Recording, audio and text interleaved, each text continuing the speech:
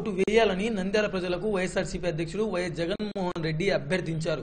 ఉప ఎన్నికల్లో ప్రచారంలో భాగంగా ఎనిమిదో రోజు బుధవారం చింత అరుగులో ఆయన రోడ్ షో నిర్వహించారు. ఈ సందర్భంగా మాట్లాడారు. ఉప ఎన్నికలు వచ్చే వరకు చంద్రబాబు ఆయన కొడుకు మంత్రులను నంద్యాలలో ఎప్పుడైనా చూశారా అని ప్రశ్నించారు. మోసం చేయడం చంద్రబాబు నైజమని ఎన్నికల్లో ఇచ్చిన హామీలను నిలబెట్టుకోలేకపోయారన్నారు. చంద్రబాబు అబద్దాలు చెప్పడం తనకు చేత కాదని విశ్వసనీయత తనకున్న ఆస్తి అని జగన్ పేర్కొన్నారు. ధర్మాన్ని బతికించాలని వైఎస్ఆర్సీపీని గెలిపించాలని ఓటర్లను కోరారు నాడు మిమ్మల్ని అడుగుతా ఉన్నాను ఇలా ఇలా ఇలా ఇలా ఇలా ఇలా ఇలా ఇలా ఇలా ఇలా ఇలా ఇలా ఇలా కట్టించలేదు మిమ్మల్ని ఇంకోటి కూడా అడుగుతా ఉన్నా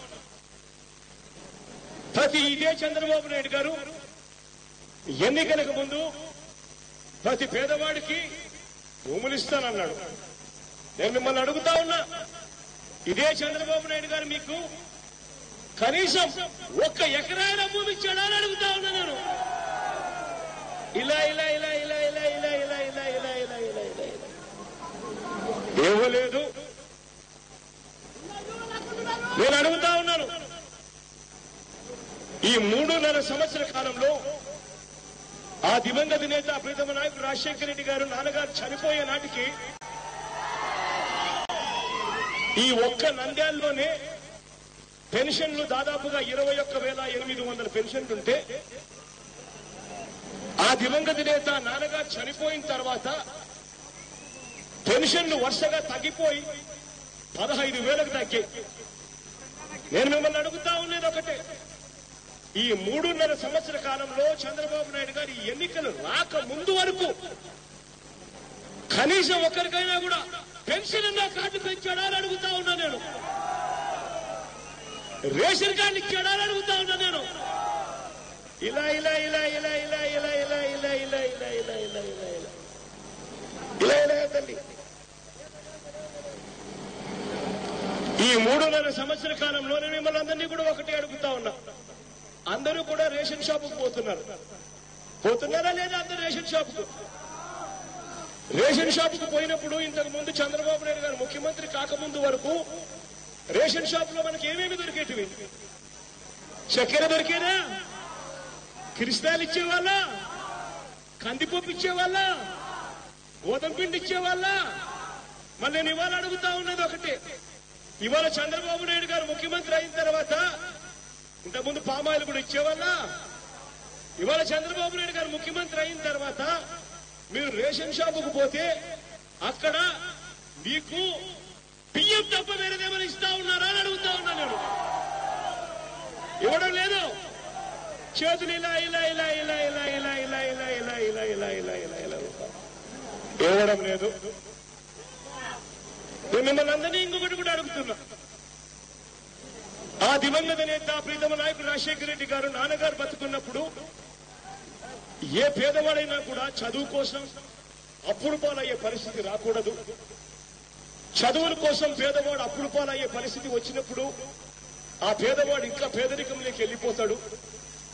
పేదరికం నుంచి పేదవాడు బయటికి రావాలి అని అంటే ఆ పేదవాడు గొప్ప చదువులు చదవాలి ఇంజనీర్లు కావాలి డాక్టర్లు కావాలి కలెక్టర్ల వంటి పెద్ద పెద్ద చదువులు చదవాలి. ఆ చదువుల కోసం ఏ పేదవాడు కూడా అప్పులు పాలయ్యే పరిస్థితి రాకూడదు అని ఆ దివంగత నేత ప్రీతమ నాయకుడు రాజశేఖర రెడ్డి గారు నాన్నగారు మీరు ఇంజనీర్ చదువుతారా? మీరు డాక్టర్ చదువుతారా? కలెక్టర్ వంటి పెద్ద పెద్ద చదువులు చదువుతారా? మీరు ఏం కావాలంటే అది చదవండి. చదువులకయ్యే ఖర్చు పూర్తిగా మా ప్రభుత్వమే భరుస్తుంది అని చెప్పి ఆ దివంగత నేత ప్రీతమ నాయకుడు రాజశేఖర రెడ్డి గారి హయాంలో మనం అంతా కూడా చూసాం ఇవాళ మిమ్మల్ని అదే అడుగుతున్నా అదే ఫీజు రీఎంబర్స్మెంట్ గురించి అడుగుతున్నా ఇవాళ పిల్లలను బడులకు ఇవాళ పిల్లలను చదువులకు పంపించి ఆ తల్లులను అడుగుతా ఉన్నా. ఇవాళ ఆ పిల్లలను కాలేజీలకు పంపించే ఆ నాన్నలను అడుగుతా ఉన్నా. నేను మిమ్మల్ని అందరినీ ఒకటి అడుగుతా ఉన్నా. ఇవాళ ఇంజనీర్ చదవాలి అని అంటే చదువుకయ్యే ఖర్చు లక్ష రూపాయలు దాటుతా ఉంది సంవత్సరానికి. ఫీజు రీఎంబర్స్మెంట్ ఇచ్చే అమౌంట్ మాత్రం కేవలం ముప్పై ఐదు వేల రూపాయలు దాటి ఇవ్వడంలా.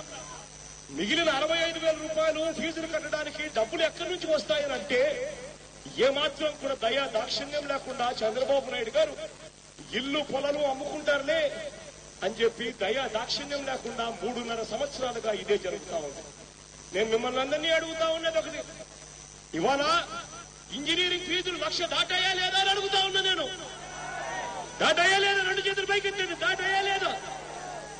మీకు ఇస్తా ఉన్న ఫీజు కేవలం ముప్పై ఐదు వేలు. మించి ఇవ్వడం లేదా అని అడుగుతా ఉన్నాను. రెండు చేతులు పైకెత్తి. ఇవ్వడం లేదు. మరి మిమ్మల్ని ఒకటే అడుగుతా ఉన్నా. మరి ఇలాంటి చంద్రబాబు నాయుడు గారు పోవాలా అని అడుగుతా ఉన్నా నేను. ఇలా ఇలా ఇలా ఇలా ఇలా ఇలా ఇలా. ఇలా ఇలా ఇలా ఇలా ఇలా ఇలా.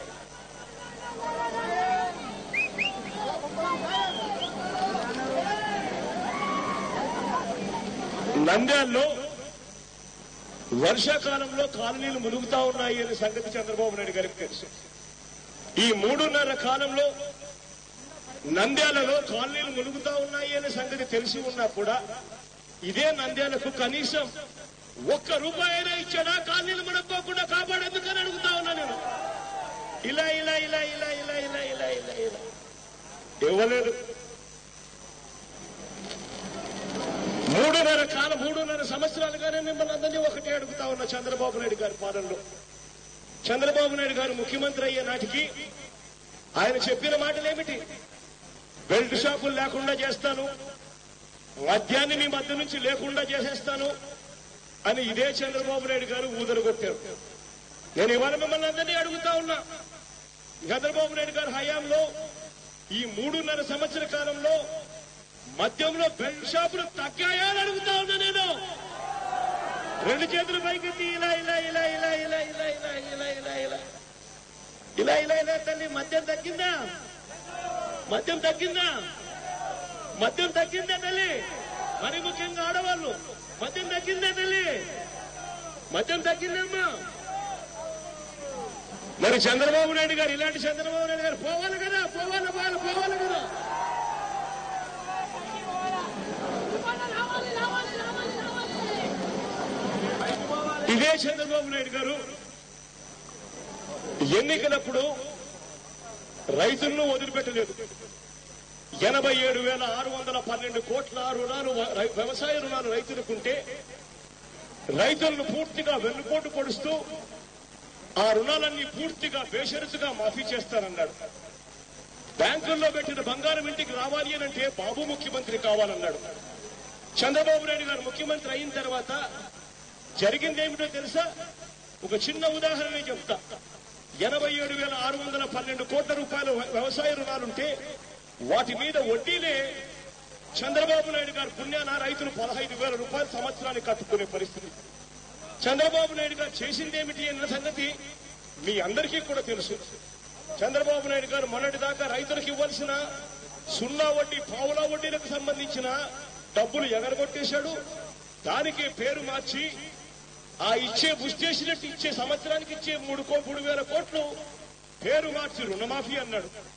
రైతులకేమో ఎనభై ఏడు వేల ఆరు వందల పన్నెండు కోట్ల మీద రైతులకేమో వడ్డీలు పదహైదు వేల కోట్లు అవుతా ఉంటే చంద్రబాబు నాయుడు గారికి వచ్చిన తర్వాత రుణమాఫీ కదా దేవుడు అడుగు రైతులకు వడ్డీలకు కూడా డబ్బులు రాని పరిస్థితిలో రైతులు ఇవాళ ఆత్మహత్యలు చేసుకుంటా ఉన్న పరిస్థితులు. చంద్రబాబు నాయుడు గారు రైతులను వదిలిపెట్టలేదు. ఎన్నికలకు ముందు చంద్రబాబు నాయుడు గారు పొదుపు సంఘాల అక్క చెల్లెమ్మలను నేనే కనిపెట్టాను అన్నాడు పొదుపు సంఘాల అక్క చెల్లెమ్మల క- ముఖంలో నేను చిరునవ్వును చూడాలన్నాడు. పొదుపు సంఘాల అక్క చెల్లెమ్మలకు సంబంధించి పూర్తిగా పద్నాలుగు వేల కోట్ల రూపాయలు పొదుపు సంఘాల అక్క చెల్లెమ్మల రుణాలన్నీ మాఫీ చేస్తానన్నాడు. నేను ఇవాళ మిమ్మల్ని అందరినీ ఒకటి అడుగుతా ఉన్నా. పద్నాలుగు వేల కోట్ల రూపాయల రుణాలు మాఫీ చేస్తానన్న చంద్రబాబు నాయుడు గారు కనీసం ఒక్క రూపాయి మాఫీ చేశాడని అడుగుతా ఉన్నా అక్క చెల్లెమ్మలందరినీ కూడా. అక్క మనందరూ ఇలా ఇలా ఇలా ఇలా ఇలా ఇలా ఇలా ఇలా ఇలా ఇలాగా తల్లి ఇలా ఇలా తల్లి రుణాలు మాఫీ అయ్యే తల్లి మాఫీ అయ్యే అమ్మా కాల ఇదే చంద్రబాబు నాయుడు గారు ఎన్నికలకు ముందు ఏమన్నాడు టీవీలో అడ్వర్టైజ్మెంట్లో చూస్తే ఏమొచ్చింది గోడల మీద రాత్రులు చూస్తే ఏం కనిపించాయి జాబు రావాలి అని అంటే జాబు రావాలి అని అంటే? గట్టిగా జాబు రావాలి అని అంటే? బాబు రావాలి అని అన్నాడు. జాబ్ ఒకవేళ ఇవ్వకపోతే ఏమన్నాడు? ఇంటింటికి రెండు వేలు ఇస్తారన్నాడా నెల ఇస్తారన్నాడా మరి ముప్పై ఎనిమిది నెలలు అయింది చంద్రబాబు నాయుడు గారు ముఖ్యమంత్రి. అయి ప్రతి ఇంటికి అక్షరాల డెబ్బై ఆరు వేలు ఈ పెద్ద మనిషి బాకీ ఉన్నాడు. ఉన్నాడా లేదా? ముప్పై ఎనిమిది నెలలు ఇంటూ రెండు వేలు అంటే డెబ్బై ఆరు వేల మందికి ఇవ్వాలా లేదా? ఇవ్వాలా లేదా? నేను మిమ్మల్ని ఒకటి అడుగుతా ఉన్నా. చంద్రబాబు నాయుడు గారు ముఖ్యమంత్రి అయి మూడున్నర సంవత్సరాలైంది. కనీసం ఒక్క రూపాయి అయినా ఇచ్చాడా అని అడుగుతా ఉన్నా నేను. ఇలా ఇలా ఇలా ఇలా ఇలా ఇలా ఇలా ఇలా ఇలా ఇలా. ఇచ్చాడా తల్లి? ఇలా కదా. ఇచ్చాడమ్మా ఇలాగ తల్లి. ఇచ్చాడ తల్లి? ఇలాగ తల్లి. మరి ఇలాంటి చంద్రబాబు నాయుడు గారు ఇలా ఇలా ఇలా ఇలా ఇలా పోవాలి కదా ఇలా ఇలా ఇలా ఇలా. ఇవాళ చంద్రబాబు నాయుడు గారు ముఖ్యమంత్రిగా ఉండి ముఖ్యమంత్రిగా ఉండి ముఖ్యమంత్రి పదవి కోసం చంద్రబాబు నాయుడు గారు మూడున్నర సంవత్సర కాలం చంద్రబాబు నాయుడు గారు పరిపాలన మనం చూసాం ఎన్నికలప్పుడు ముఖ్యమంత్రి అయ్యేదానికి ఏమేం మాటలు చెప్పాడో మనం విన్నాం. ఆ ప్రతి మాట మోసం అని చెప్పి మూడున్నర సంవత్సరం తర్వాత కూడా మనం తెలుసుకున్నాం. ఇదే చంద్రబాబు నాయుడు గారు ఎంత మోసం చేస్తా ఉన్నాడు అని చెప్పడానికి నిదర్శనం. ఇదే చంద్రబాబు నాయుడు గారి నైజమే మోసం చేయడము అని చెప్పి దానికి నిదర్శనం. ఇదే చంద్రబాబు నాయుడు గారు ముఖ్యమంత్రి అయిన తర్వాత కర్నూలుకు వచ్చాడు. కరెక్ట్గా ఆగస్టు పదహైదో తారీఖు అంటే నిన్నటికి రెండు వేల పద్నాలుగు ఆగస్టు పదహైదో తారీఖున కర్నూలుకు వచ్చి ఇదే చంద్రబాబు నాయుడు గారు ముఖ్యమంత్రి హోదాలో ఉంటూ చంద్రబాబు నాయుడు గారు కర్నూలుకు ఇవన్నీ చేస్తాను అని చెప్పి చెప్పాడు. ఒక వ్యక్తి ముఖ్యమంత్రిగా ఉంటూ కర్నూలుకు వచ్చి మైక్ పట్టుకొని స్వాతంత్ర దినోత్సవం నాడు జెండా ఎగిరేసి ఫలానివి చేస్తాను అని చెప్పి ఏదైనా చంద్రబాబు నాయుడు గారు చెబితే నేను మిమ్మల్ని అందరినీ అడుగుతా ఉండేది ఒకటి. ముఖ్యమంత్రి అనే వ్యక్తి మైకు పట్టుకొని ఫలానిది నేను చేస్తాను అని చెప్తే మనం అంతా కూడా ఏమనుకుంటాం? ముఖ్యమంత్రి నోట్లో నుంచి మాట వచ్చింది అని అంటే ఆ పని అయిపోతుంది అనుకుంటామా లేదా? అనుకుంటామా లేదా? అనుకుంటామా లేదా? మరి ఇదే చంద్రబాబు నాయుడు గారు కర్నూలులో నిల్చొని ముఖ్యమంత్రి హోదాలో నిల్చొని కర్నూలుకు చెప్పిన మాటలు ఏమిటో తెలుసా? కర్నూలులో ఎయిర్పోర్ట్ కట్టిస్తానన్నాడు. కర్నూలును స్మార్ట్ సిటీగా చేస్తానన్నాడు. చేశాడా? కర్నూలులో సూపర్ స్పెషాలిటీ ఆసుపత్రి కట్టిస్తానన్నాడు. కట్టించాడా? కర్నూలులో ఉర్దూ యూనివర్సిటీ అన్నాడు కట్టించాడా? కర్నూలులో ట్రిపుల్ ఐటీ పెట్టిస్తానన్నాడు పెట్టించాడా? కర్నూలుకు ఫుడ్ పార్క్ అన్నాడు. కర్నూలులో రైల్వే వ్యాగన్ల మరమ్మతుల ఫ్యాక్టరీ అన్నాడు. కర్నూలులో మైనింగ్ స్కూల్ అన్నాడు. కర్నూలు దగ్గర ఆవుకు దగ్గర ఇండస్ట్రియల్ సిటీ అన్నాడు.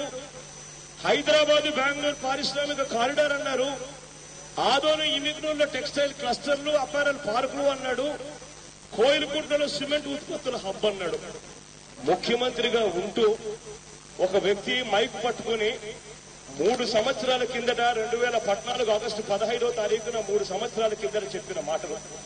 వీటిలో కనీసం ఒక్కటైనా చంద్రబాబు నాయుడు గారు చేశారని అడుగుతా ఉన్నా కర్నూలు జిల్లా వాసులుగా. గట్టిగా ఇలా ఇలా ఇలా ఇలా ఇలా ఇలా ఇలా ఇలా ఇలా ఇలా.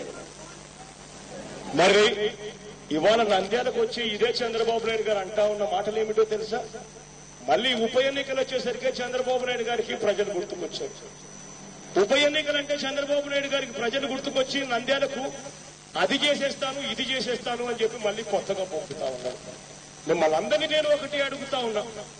ఇలాంటి అన్యాయస్తుడికి మూడు మూడున్నర సంవత్సరాలుగా ఇటువంటి పాలన చూసిన తర్వాత ఇటువంటి పాలనకు మనం ఓటేయాలని అడుగుతా ఉంటాం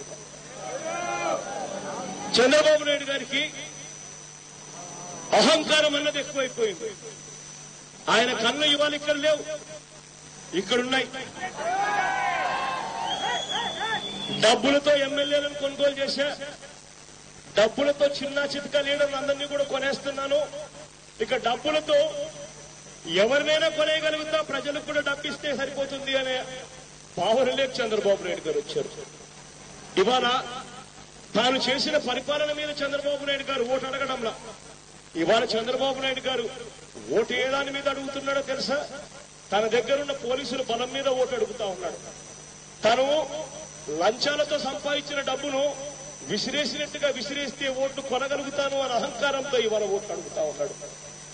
ఇవాళ నేను చంద్రబాబు నాయుడు గారిని ఉద్దేశించి మీ అందరికీ కూడా ఒకటే ఒకటి చెప్పదలుచుకున్నా.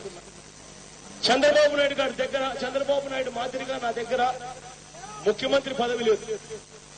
చంద్రబాబు నాయుడు గారు మాదిరిగా నా దగ్గర పోలీసులు బలం లేదు.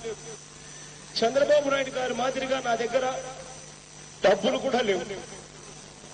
చంద్రబాబు నాయుడు గారి మాదిరిగా నా దగ్గర ఉన్నది లేనట్టుగా లేనిది చూ- లేనిది ఉన్నట్టుగా చూపించే టీవీ ఛానళ్ళు లేవు పేపర్లు లేవు. కానీ ఇవాళ మీ అందరికీ కూడా నేను ఒకటే చెప్తా ఉన్నా. నా దగ్గర ఉన్నదేమిటో తెలుసా? నా దగ్గర ఉన్న ఆస్తి ఏమిటో తెలుసా? తెలుసా నా దగ్గర ఉన్న ఆస్తి ఏమిటో? ఆస్తి ఆ దివంగత నేత ఆ ప్రీతమ నాయకుడు రాజశేఖర రెడ్డి గారు నాన్నగారు ఎనిమిది సంవత్సరాల కిందట తాను చనిపోతూ చనిపోతూ తానిచ్చిపోయిన ఇంత పెద్ద కుటుంబం నా ఆస్తి అని చెప్పి నేను గర్వంగా కూడా చెప్తాను. ఎనిమిది సంవత్సరాల కిందట ఆ దివంగత నేత ప్రీతమ నాయకుడు రాజశేఖర రెడ్డి గారు చనిపోకముందు తాను చేసిన మంచి తాను చేసిన సంక్షేమ పథకాలు ఇంకా ప్రతి గుండెలో కూడా బ్రతికే ఉండడమే నాకున్న ఆస్తి అని చెప్పి నేను గర్వంగా కూడా చెప్తాను. నాకున్న ఆస్తి ఏమిటో తెలుసా? జగన్ మోసం చేయుడు. జగన్ అబద్ధమానుడు. జగన్ ఏదైనా చెప్తే అది ఖచ్చితంగా చేస్తాడు అన్న విశ్వసనీయత నాకున్న ఆస్తి అని గర్వంగా చెప్తాను. నాకున్న ఆస్తి ఏమిటో తెలుసా? జగన్ కూడా వాళ్ళ నాన్న మాదిరిగానే ప్రతి పేదవాడి ఇంట్లో తన ఫోటో ఉండాలని ఆరాట పడతా ఉన్నాడు. తాను కూడా నవరత్నాలను ప్రకటించాడు. అవకాశం వస్తే జగన్ కూడా వాళ్ళ నాన్న మాదిరిగానే గొప్ప పరిపాలన అందిస్తాడు అన్న నమ్మకం నాకున్న ఆస్తి ప్రజల్లో అని చెప్పి కూడా చెప్తాను. నాకున్న ఆస్తి ఏమిటో తెలుసా? చంద్రబాబు నాయుడు గారి మాదిరిగా నా దగ్గర పదవి లేకపోవచ్చు డబ్బులు లేకపోవచ్చు మీడియా లేకపోవచ్చు పోలీసులు లేకపోవచ్చు. కానీ నాకున్న ఆస్తి ఏమిటో తెలుసా? పైనున్న దేవుడి దయ మీ అందరి ఆశీస్సులు అని గర్వంగా కూడా చెప్తాను. రాబోయే రోజుల్లో మీ దగ్గరికి చంద్రబాబు నాయుడు గారు మళ్ళీ వస్తాడు. వచ్చి మూడున్నర సంవత్సరాల కాలంగా తాను చేసిన అవినీతి సొమ్ముతో వస్తాడు. ఇవాళ చంద్రబాబు నాయుడు గారు ఈ మూడున్నర సంవత్సర కాలంలో ఏది వదిలిపెట్టలేదు? ఇసుకను వదిలిపెట్టలేదు మద్యాన్ని వదిలిపెట్టలేదు మట్టిని వదిలిపెట్టలేదు ఇరిగేషన్ కాంట్రాక్ట్ వదిలి వదిలిపెట్టలేదు. గుడి భూములను వదిలిపెట్టలేదు రాజధాని భూములను విశాఖపట్నం భూములను వదిలిపెట్టలేదు. అన్నింటిలోనూ కరప్షన్ అన్నింటిలోనూ లంచాలే. ఆ లంచాల డబ్బుతో మూటలు మూటలు డబ్బులు తీసుకొని మీ దగ్గరికి వస్తాడు. రాబోయే రోజుల్లో మీ దగ్గరికి ఆ మూటల్లో నుంచి డబ్బులు తీస్తాడు. చంద్రబాబు నాయుడు గారు తనకు సంబంధించిన మనుషులు వస్తారు. వచ్చి ప్రతి ప్రతి చేతికి ఒక ఐదు వేల రూపాయలు డబ్బులు డబ్బు పెడతాడు ప్రతి చేతిలో. పెట్టడమే కాకుండా ఏం చేస్తాడో తెలుసా? జేబీలో నుంచి దేవుడి ఫోటో తీస్తాడు.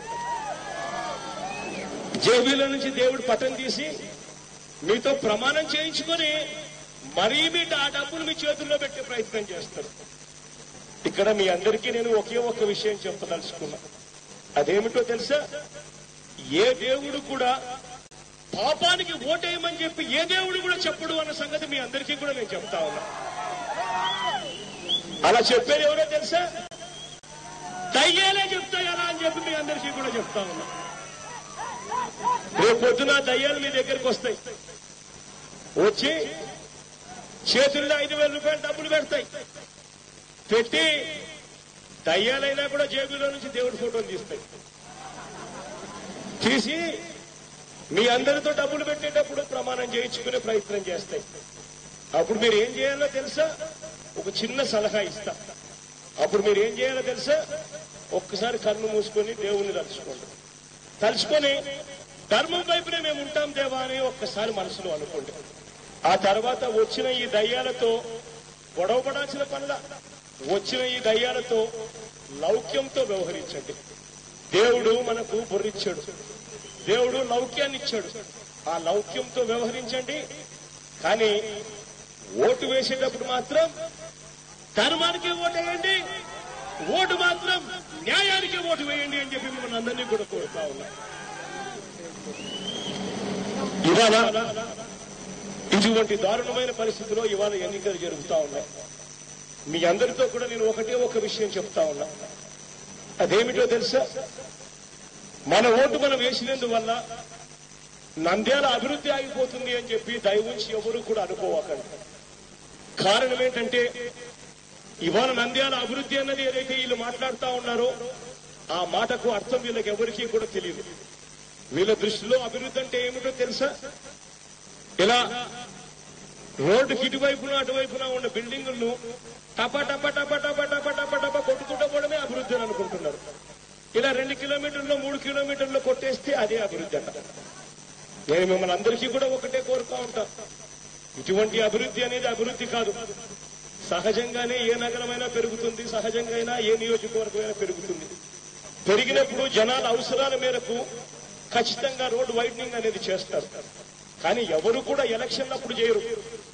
ఆ రా- రోడ్డు వైట్నింగ్ చేసేటప్పుడు ఖచ్చితంగా పిలిపించుకుంటారు. షాపులు ఉన్న వాళ్ళందరికీ కూడా వాళ్ళ కడుపులో వాళ్ళ కడుపు కోరుతున్నాము. వాళ్ళు రోడ్డు మీదకి వస్తారు అన్న భావన ఉండాలి ఎవరికైనా ముఖ్యమంత్రిగా ఉన్న వ్యక్తికి. వాళ్ళందరినీ పిలిపించుకొని వాళ్ళందరితో కూడా మార్కెట్ రేట్ ఎంతో కనుక్కొని వాళ్ళందరితో సంప్రదించి ఎవరైనా చేయాలి. కానీ చంద్రబాబు నాయుడు గారు ఇవాళ ఎన్నికలు వచ్చేసరికి మాత్రం అభివృద్ధి అని చెప్పి పోజు కొడుతూ ఈ పక్కన ఆ పక్కన రోడ్డుకు టప టప టప టప రెండు మూడు కిలోమీటర్లు పగలు కొట్టేసి అదే అభివృద్ధి అంటా ఉన్నారు. ఇది అభివృద్ధి కాదు. అక్కడ సెంటు యాభై లక్షల రూపాయలు పలుకుతా ఉంటే గజం లక్ష పదివేలు పలుకుతా ఉంటే పూర్తిగా కొట్టేసిన తర్వాత చంద్రబాబు నాయుడు గారు వాళ్ళకి ఇచ్చేది ముస్టేషన్కి పద్దెనిమిది వేలు ఇస్తానంటున్నాడు. దీన్ని అభివృద్ధి అనరు దీన్ని రాక్షస ఆనందం అంటారు. ఎన్నికల కోసం చేస్తా ఉన్న రాక్షస ఆనందం అంటారు. ఇటువంటి అభివృద్ధిని కాదు. మీ అందరితో కూడా నేను ఒకటే మాట చెప్తా ఉన్నా.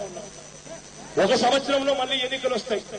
మీరు ఇవాళ చేసే ఈ ఓటుతో రాష్ట్రంలో జరగబోయే కురుక్షేత్ర మహాసంగ్రమం సంగ్రామంలో జరగబోయే మార్పుకు నంద్యాల నుంచే మార్పు జరగాలి అని చెప్పి మిమ్మల్ని కూడా జరుగుతా ఉన్నాం. నంద్యాలే నాంది పలకాలి. రాష్ట్రంలో దేశంలో ఎవరైనా రాజకీయ నాయకుడు మైకు పట్టుకొని ఫలానికి చేస్తాను అని చెప్పి చేస్తాను అని చెప్పి చేయకపోతే ఆ రాజకీయ నాయకుడిని కాలలు పట్టుకొని అడుగుతారు ప్రజలు అన్న భయం రాజకీయ నాయకుల్లోకి రావాలి. వ్యవస్థ మార్పు జరగాలి. ఇటువంటి ధర్మయుద్ధంలో మీ అందరికీ కూడా నేను ఒకటే మాట చెప్తా ఉన్నా. నంద్యాల అభివృద్ధిని పూర్తిగా నాకు వదిలేయండి అని చెప్పి మీ అందరికీ నేను భరోసా ఇస్తా ఉన్నా. పులివెందుల తర్వాత నంద్యాలను అదే దిశగా అభివృద్ధి నేను చేస్తాను అని చెప్పి మీ అందరికీ కూడా హామీ ఇస్తా ఉన్నా. నంద్యాలలో మీరు చూపించే ప్రేమను నేను మర్చిపోను అని చెప్పి మీ అందరికీ కూడా నేను గట్టిగా చెప్తా ఉన్నా. చంద్రబాబు నాయుడు గారి మాదిరిగా నాకు అబద్ధాలు ఆడడం రాదు. మోసం చేయడం రాదు. ఖచ్చితంగా చేస్తాను అని అంటే గొప్పగా చేస్తానని చెప్పి మీ అందరికీ హామీ ఇస్తా ఉన్నా. కాబట్టి ఈ ధర్మయుద్ధంలో మీ అందరి చల్లని దీవెనలు మీ అందరి చల్లని ఆశీస్సులు మోహనన్నపై ఉండవలసిందిగా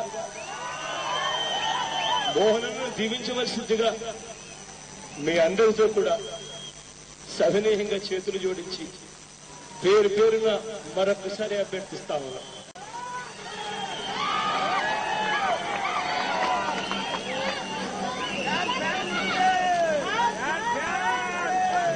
వెళ్ళే ముందు ఒకే ఒక చిన్న విషయం మా చెప్పవలసిన విషయం ఏమిటంటే ఈ ఎన్నికల్లో మన గుర్తు తెలిసిన ప్రతి వ్యక్తికి కూడా గుర్తు తెలియని ప్రతి వ్యక్తికి గుర్తు గురించి చెప్పవలసిన అవసరం ఉంది.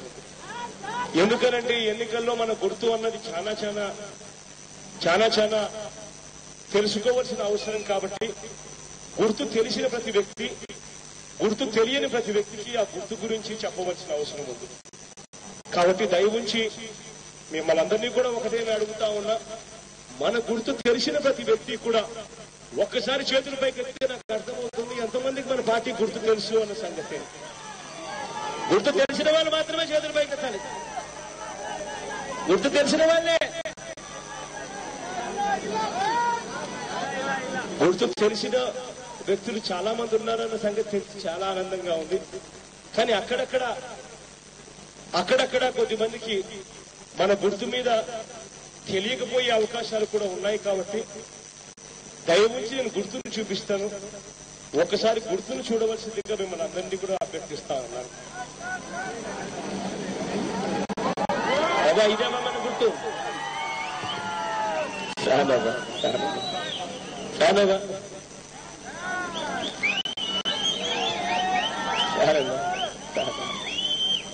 ఫ్యాన్ అవ్వ అక్కడున్న అక్కడున్నావా? అక్కడున్నామా? ఫ్యానమ్మా అవా అక్కడ.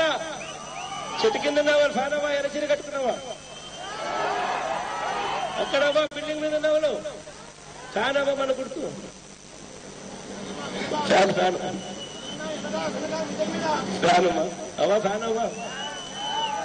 ఫ్యాన్ గుర్తు. ఫ్యాన్ గుర్తావా ఇక్కడ ఎరచీర కట్టుకున్నావా? తెల్ల చీర కట్టుకున్నావా? ఫ్యాన్ ఫ్యాన్ అవ్వా ఫ్యాన్ ఫ్యాన్ ఫ్యానవా ఫ్యాన్ అవ్వా ఇక్కడ అవ్వా ఎర్ర కట్టుకున్నావా గొడవ మీద కూర్చున్నావా? ఫ్యాన్ ఫ్యాన్ అవ్వా ఫ్యాన్ అవ్వా ఫ్యాన్ ఎక్కడవ్వా కళ్ళ కట్టుకున్నావా? తెల్ల కట్టుకున్నావా ఇద్దరు ఫ్యాన్ అవ్వలు ఫ్యాన్ తల్లి. ఫ్యాన్ అమ్మా ఫ్యాన్ అమ్మా ఫ్యాన్ గుర్తమ్మా. ఫ్యాన్ గుర్తమ్మా. పోలీస్ హెడ్ క్వార్టర్స్ను ముఖ్యమంత్రి